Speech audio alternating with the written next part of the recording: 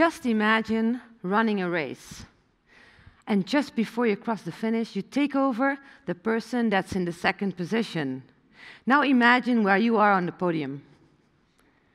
I'm pretty sure most of you just envisioned yourself winning the race. But I'm sorry, you're wrong. You came in second. That's because when you take over the second place, there's still someone in front of you leading the race, and that person is going to win. What just happened here is I trigger your intuitive brain. And your intuitive brain is made for speed and not for accuracy. So when this question, it seems very simple, and there's a sequence from two to one, your unconscious brain doesn't activate your deliberate thinking, your deliberate thinking that is slow but much more accurate. Completely different question. Okay, so who of you is less capable in detecting disinformation online than the average person in this room? Hands, please. So, yeah, so this is interesting because if I would divide this room in a group that is less or better capable in detecting disinformation compared to the average, approximately half of the crowd should have just risen their hand. The thing is, we cannot really estimate our own capabilities very well, especially if we lack the knowledge or the expertise. This is called the Dunning Kruger effect. So, these are just two examples that I wanted to show that our thinking is very much subjective and we're not as rational as we would like to believe we are. I found this out when I was in Afghanistan in 2007. I was working in um, Chora, um, in Uruzgan, in the middle of nowhere. I was in the military and I had to work with local men on projects to improve the living conditions of the area. An area that you could describe as having missed the Industrial Revolution, except for mobile phones, some motorcycles, and of course, a lot of AK 47s. It's an automatic rifle, also known as Kalashnikov. So we are driving the whole day, and we end up at the governor's compound in Chora, and we sleep there, all the military in the same room. The next morning, we go on a foot patrol. And this is the first time there's a woman part of the mission. And when we walk around, I hear people whispering and laughing, and I ask my interpreter, What are they talking about?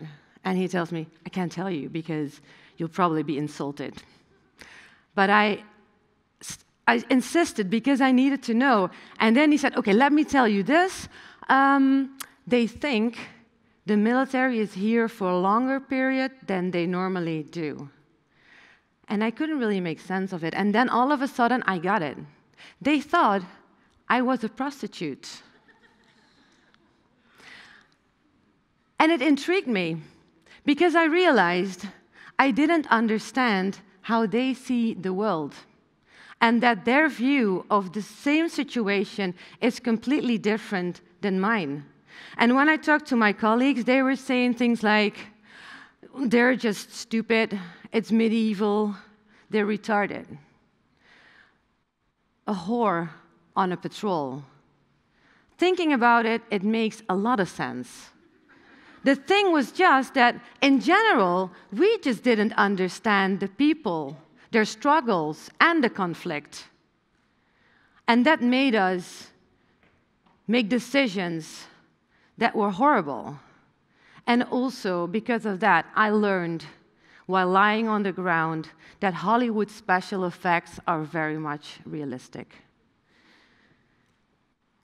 Back home, I went back on with my career and more and more I felt the urge to understand why do people do what they do. And then one year before I started studying sociology, I was living in Damascus when the Arab Spring broke out. So online originated protests, sparked unrest in the whole region, and within weeks we were isolated in the city.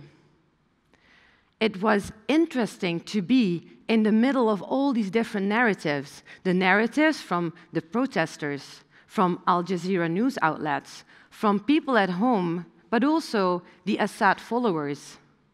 They all had their own beliefs, ideas, perceptions of exactly the same situation. And I was in the middle of it. This made me want to study how online behavior has an impact offline. So that's what I did. And an interesting thing I found out is the internet has the potential to find out basically everything you want to know. But the thing is, we see only a fraction of it. And this is because there is just too much. There is so much information that our unconscious brain helps us to decide what we see and what not. It uses filters to make us aware of certain information and ignore others. So, for instance, things that trigger our emotions definitely are picked up by our brain. And then we have a preference for binary stories, stories that are about good and bad, not too much nuances and not too much complexity, because that is easily to digest, like fairy tales or conspiracy beliefs. Another thing is called confirmation bias. We notice primarily information that aligns with the things we already believe or know, and then we add more value and truth to repetitive messages. They could be misleading, but it's called the illusory truth effect. Thing is, as said before, we're not as rational as we think, and the way we see the world is very much subjective. And the fact that we have a biased brain is not the problem on itself online models learn from our behavior, and they more and more serve us information that we like to consume, leading to a narrow and more narrow view of the world every time, and ending up in groups of like minded people that are opposed to the others. We're seduced to have an opinion about basically everything and anything that's happening online. It creates polarization and hate, which diverts us only more. And the thing is, we're not online to get information or facts. Most of us spend a lot of time there because it brings us identity and belonging and meaning. That is what it provides to us facts are not that important. Especially in times of great insecurity and uncertainty, it's meaning that people are looking for, belonging. And in times of insecurity and uncertainty, we are less critical and we respond more emotionally. While, especially in these circumstances, we should be more critical and more aware of how we spend our time online. So I think we should realize how we spend our time online and be more aware how we can spend it in a different way and have it be more meaningful. So, with this whole online environment, the amount of information and the technology, the growth of artificial intelligence had made, has made us to be more vulnerable to be manipulated. And we're manipulated all the time. And it has harmful impact. Young people that are recruited by criminal gangs online to earn 10K in a week frustrated people that vote on political parties that want to end immigration based on framed facts and random juggling with numbers. People that click on screaming headlines, unaware that they just are funding a juice channel that's spreading lies about people. And the increase of online hate, having a causal relation to online to offline violent crimes, hate crimes, and every victim is just one too many. And I could go on and on, with how online manipulation and disinformation plays a big role in war, in genocide, in dictatorship, in extremism, in the suppression of people. I think it's time that the most people I know and I see, and I'm convinced, that want an online environment that is empathic, that is about conversation, and not about hate and polarization. So, what we can do is when you're online and you feel it triggers your emotions, zoom out. Why are you triggered? What does the sender want? And what is the whole story? And when you hear yourself think, hmm, but where's smoke, there's probably fire. Let me tell you, online, where there's smoke, there's smoke.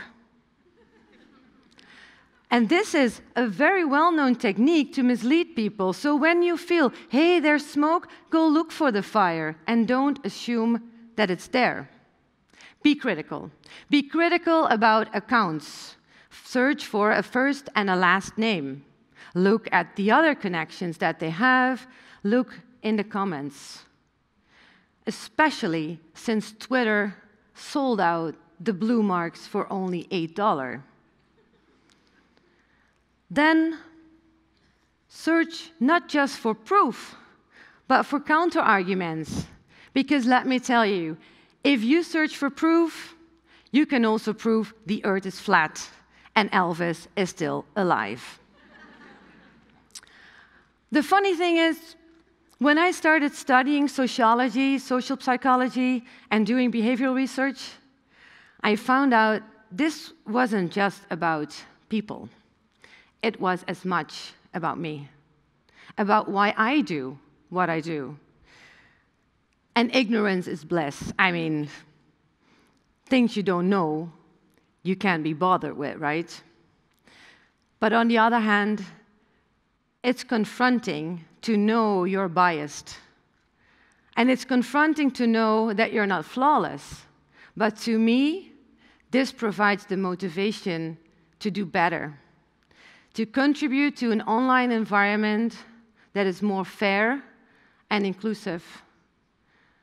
And I don't think it's actually that hard. Let's just all start to be more critical, curious, and kind. Let's just start there.